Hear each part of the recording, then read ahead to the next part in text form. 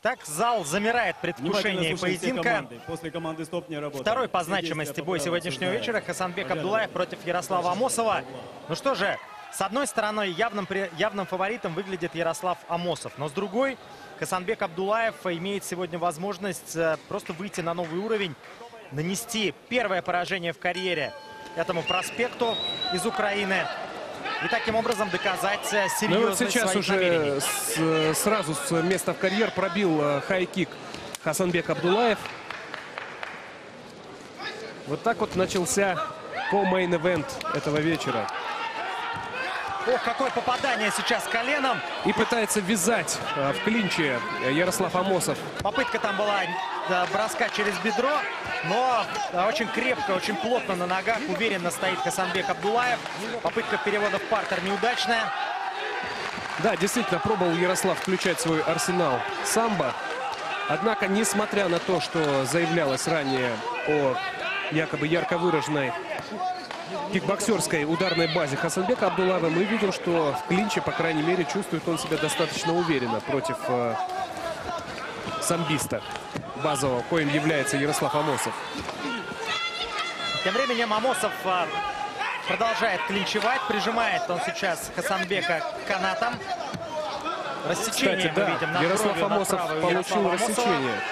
Возможно, это следствие того хайкика, который был выброшен на старте Хасанбеком Абдулаевым. И Переходит поединок в гард. В партере контролирует Ярослав Амосов а, Хасанбека Абдулаева. Закрыт гард. Прихватывает Хасанбек руки соперника. Активность. Призывает Ашот Ашугян к активности. Немножко упали скорости. Это не мудрено. Ну вот теперь не позволяет Ярослав Амосов подняться своему оппоненту. И продолжается снова бой в гарде. Две минуты поединка позади.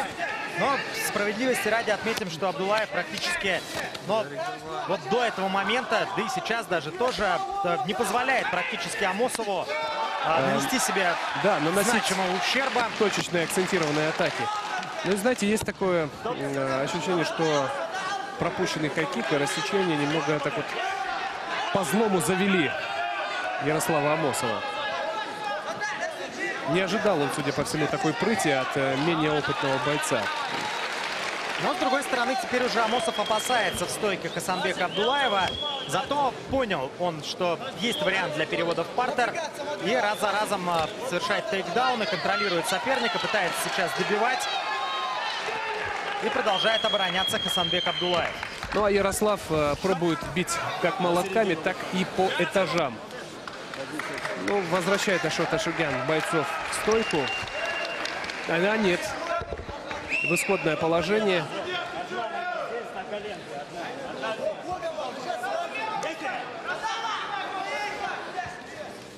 Пытается вязать по рукам Хасанбек Абдулаев Ярослава Амосова, но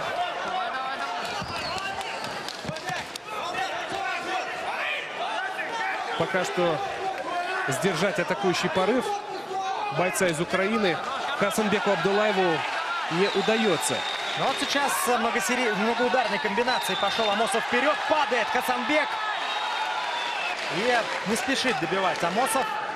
Ну вот э, с течением э, первого раунда все-таки все больше и больше доминирует Амосов. Постепенно Хасанбек Абдулаев т- теряет. Да не то, что инициативу он теряет, у него ее и не было. Но он начинает сдавать позиции, уже не удается ему столь агрессивно действовать, как в начале этого раунда. Сейчас прихватил соперника за ногу. Амосов сам усаживается в угол ринга. Там, была то ли попытка гильотины, то ли, в общем, что-то еще задумал Амосов. Вот хорошо сейчас попал не получилось. Да, и левое Хасанбек голову. Абдулаев. Амосов намного более опытный спортсмен. Напомню вам, у него 15 побед в 15 поединках. Две победы и ни одного поражения у Хасанбека Абдулаева в карьере. Тем временем 30 секунд остается до окончания первого раунда. И немало сил-то потратил Ярослав Амосов на укрощение своего соперника в первом раунде. Да, Амосов устал однозначно. Мидл-кик выбрасывает Абдулаев. Еще, Еще один мидл-кик не просто пришлось сейчас Ярославу Амосову. Ну вот выкатились за канаты. Ну, По сей день, по сей день много дискуссий по поводу того, нужно ли проводить поединки по ММА в ринге. Ну, сегодня это оправдано, так как наш карт включал и бои по К1. Но в любом случае, в общем, э, есть определенные недостатки, с которыми вряд ли кто спорит. Еще, кстати, некоторые организации в Японии продолжают проводить, э, ну не некоторые, а большинство, подавляющее за исключением, наверное, Панкрейс, продолжают проводить э, поединки в рингах. Но вот в России в основном теперь уже используется клетка. Ну вот где Креп использует ринг, мы знаем, что М1 использует такую конструкцию, как Рейдж. Оригинальная, комбинированную. внизу сетка, с, в общем, сверху ринга, которая сочетает преимущества и того, и другого. Ну а Fight Nights, например, и ACB используют клетки. Причем э, в промоушене Fight Nights э, клетка по своей форме весьма и весьма схожа с тем сооружением, которое используется в Беллаторе. То есть клетка круглая, без углов. Но это дело долгих дискуссий. Кстати, я вот сейчас на минутку задумался, а много ли осталось э, лиг организаций промоушенов, где в карде совмещены поединки как по смешанным единоборствам, так и по кикбоксингу? Но опять же, эта история пришла к нам, этот тренд, так назовем его, а, пришел, пришло, пришел к нам из Японии. Мы помним, мы а, турниры Pride, которые сочетали в себе и бои по правилам смешанных единоборств и кикбоксинга. И э, недавно, потом эта история была забыта, а вот в прошлом году начала она возрождаться. Был турнир Bellator Dynamite, где э, было проведено несколько поединок, поединков э, по правилам профессионального кикбоксинга, причем там выступали, это был совместный турнир Bellator и Glory, и потом Rizin FC в Японии на Сайтама Супер Арене. Там тоже было несколько поединков э, по правилам профессионального кикбоксинга. Но вот и Ну, сейчас да, а что касается российских промоушенов, то долгие годы именно как раз-таки такой симбиоз э, практиковался в Fight Nights. Но где-то уже, по-моему, в районе двух лет, как Fight Nights целиком и полностью перешли на поединки смешанного стиля в своих картах.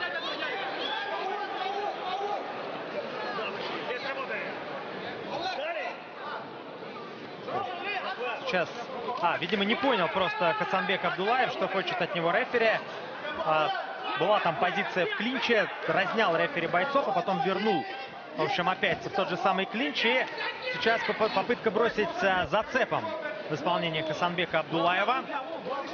А, ну, вообще, как э, в первом раунде, так и в этом очень много клинча. Клинча в стойке.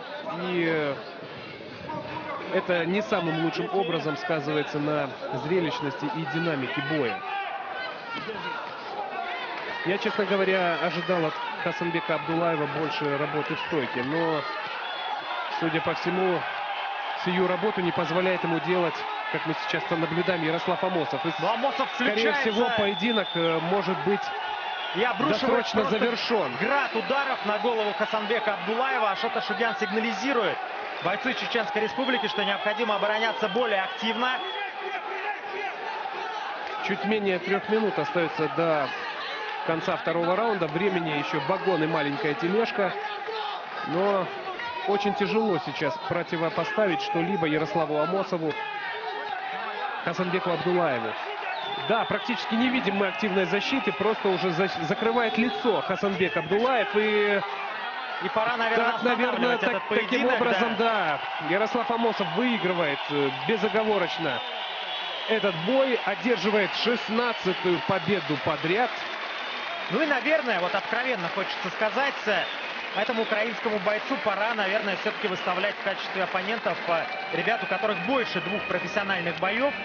А недаром, когда представлял я Ярослава Амосова, обратил внимание на тот факт, что из четырех поединков, даже из четырех, даже из пяти поединков, получается, не считая сегодняшнего в Декреф ФС, два он провел против э, дебютантов.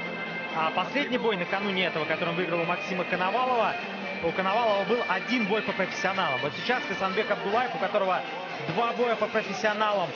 Ну и, наверное, уже пора. Пора Ярославу Амосову, а, чемпиону мира и Европы по боевому самбо. Выходить на более серьезный уровень оппозиции. Понятно, что многих а, бойцов, на которых а, руководство разных промоушенов возлагает надежды, а, ну, ведут. То есть постепенно повышают им уровень оппозиции. И как раз, наверное, Ярославу Амосову уже пора встречаться с соперниками более опытными. Не буду говорить более классными, потому что Казамбек Абдулаев, в общем-то, боец классный. И провел он этот поединок э, решительно, мастеровито. И были моменты, когда, в общем-то, на равных он противостоял Амосову. Но вот мы видим сейчас концовку 47 секунде и заслуженная победа. Ярослава. Более того, э, в дебюте поединка очень хорошо выглядел Хасанбек Абдулаев и нанес э, такое вот рассечение Ярослав Ярославу Амосову. Чем-то даже его ошеломил таким образом, но нехватка опыта как раз-таки сказалась. Для награждения бойцов в ринг приглашается председатель Э, попечительского Серьезно рисковал, конечно.